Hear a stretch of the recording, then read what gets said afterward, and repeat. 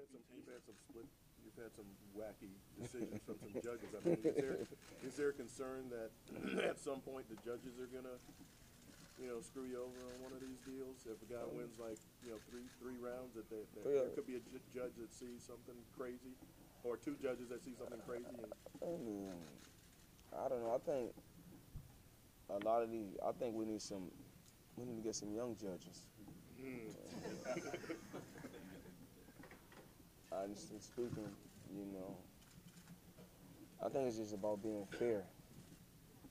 And as a fighter, Maidana know, he know he didn't win. As a fighter, you know, I've been in the sport forever, and you know, like when you go to the boxing gym, you know when some that that day when you go to the boxing gym, you're like, today I didn't really, I really didn't perform like I normally perform.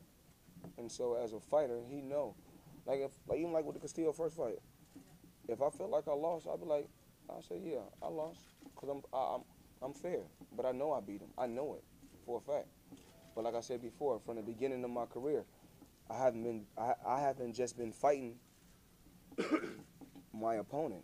I've been fighting everybody else also. The media, the critics, the fan, the the, the biased fans. I mean, it, and it comes it comes with the territory. Like I said, you know.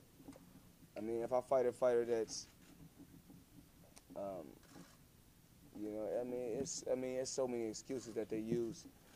Like I was just telling them out there, when I fight when I fought Marquez, he was over the he was over the hill, he was washed up, but then he come back and uh, knock Pacquiao. Then he like, okay, Marquez is you know he's pound for pound one of the best. But then when I beat him, they had him rated as number two, but then he was over the hill. I mean, so I mean we we can go on and on and on about different opponents.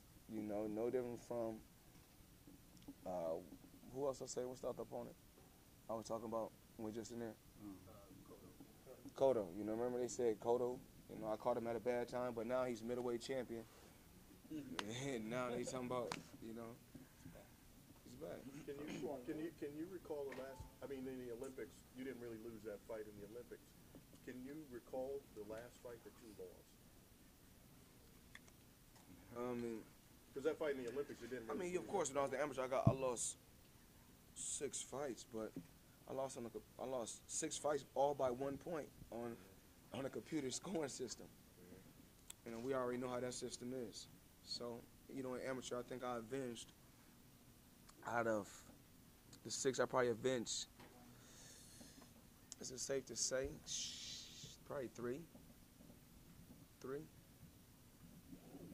The losses or two of the losses. Okay. Probably so.